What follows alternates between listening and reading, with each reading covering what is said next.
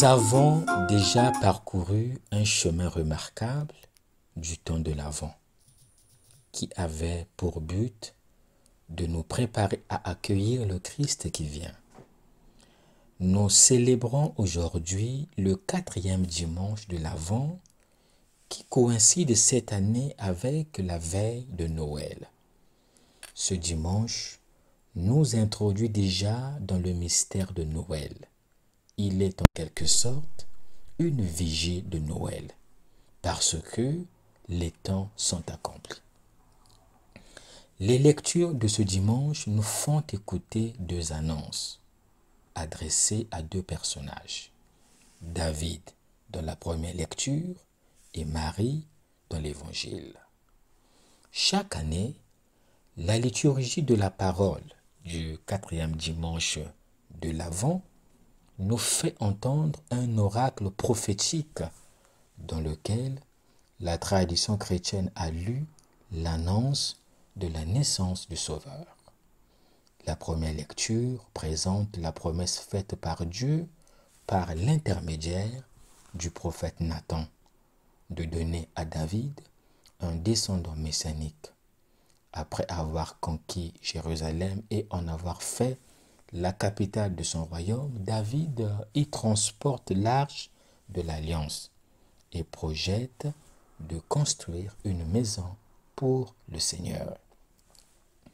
David prend conseil auprès de Nathan. Il veut avoir la certitude du bon choix et l'aval d'une personne faisant autorité derrière ses projets. Construisant une maison pour le Seigneur, David voudrait donner à Dieu une demeure permanente où il pourrait être rencontré par le peuple. L'idée semble bonne et louable, mais le Seigneur, par la bouche de Nathan, bouleverse le projet du roi, renverse toutes ses attentes. Ce n'est pas David qui bâtira une maison pour Dieu. Son rêve ne se réalisera pas. Au contraire, Dieu a prévu de lui bâtir une dynastie éternelle. Pour cela, David doit renoncer à sa prétention et entrer maintenant dans le projet de Dieu. C'est pourquoi Dieu révèle son intention à David. Je te donnerai un successeur dans ta descendance qui sera né de toi, et je rendrai stable sa royauté. Je serai pour lui un père, il sera pour moi un fils. C'est Dieu qui choisit et prend l'initiative, non pas l'homme. L'oracle de Nathan devrait faire réfléchir ceux qui sont tentés de concevoir la religion et l'Église selon les principes et les critères sociologiques du moment. L'annonce et la promesse faite à David s'accomplissent en Marie dans l'Évangile.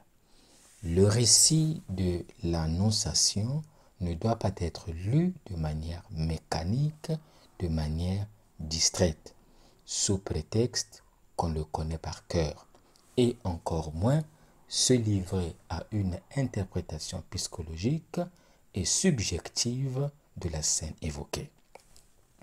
Luc reprend et actualise la prophétie messianique majeure de Nathan. Le descendant royal qu'il lui promet c'est l'enfant annoncé à Marie.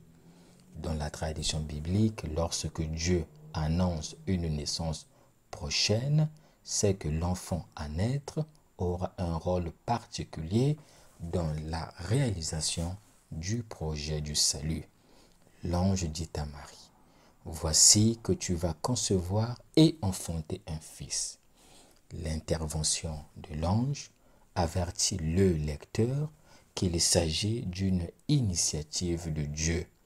La Vierge est sur le point de concevoir et de mettre au monde le Messie. À David, Dieu avait promis un descendant qui naîtra de lui. À Marie, un fils issu de son sein est annoncé. Le descendant de David devait hériter de son trône. Le fils de Marie l'obtient.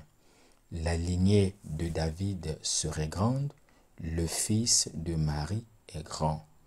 Le royaume de, le royaume de David sera stable pour toujours, le royaume du fils de Marie sera un royaume éternel, il régnera pour toujours.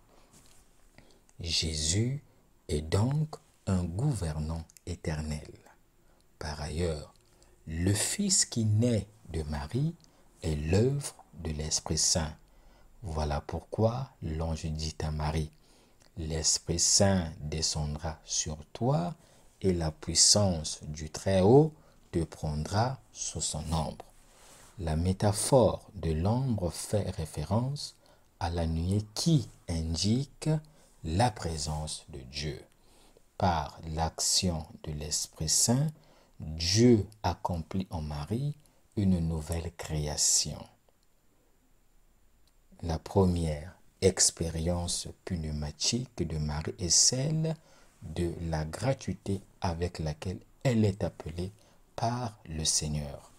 En elle, la promesse se révèle dans sa véritable nature, elle se transforme en alliance, en échange personnel et réciproque.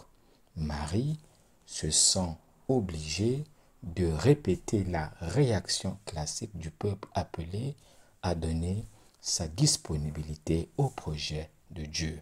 Qu'il me soit fait selon ta parole. Ayant choisi de venir habiter pleinement au sein de l'humanité, Dieu prend les moyens de réaliser son projet. La naissance de Jésus est le résultat de l'action de Dieu lui-même conjointe au consentement de Marie. Quel est l'enseignement à retenir? Dieu vient visiter l'humanité gratuitement. Dieu n'est pas conditionné par la géographie et des enclos sacrés faits par l'homme. Dieu choisit Marie. Cette dernière est appelée à être un partenaire original dans ce dialogue de Dieu avec l'histoire. Marie est appelée à donner une réponse libre et responsable au projet de Dieu. Par Gabriel, Dieu annonce à Marie et à nous que celui qui vient à Noël est le Christ, est le Seigneur, est le Messie. À quelques heures de Noël, il convient de se demander quel accueil avons-nous réservé à Jésus dans la prière et dans la méditation, prenons le temps de préparer la rencontre avec le Seigneur à Noël. À quoi nous convie ce dimanche? Ce dimanche contient deux invitations. La première, cesser d'être prétentieux et entrer dans le projet de Dieu. La deuxième invitation, accepter et accueillir le Seigneur qui vient. Jésus veut que nous ouvrions nos cœurs. Que nous reste-t-il à faire? Il ne nous reste plus qu'à conjuguer les verbes accueillir et accepter.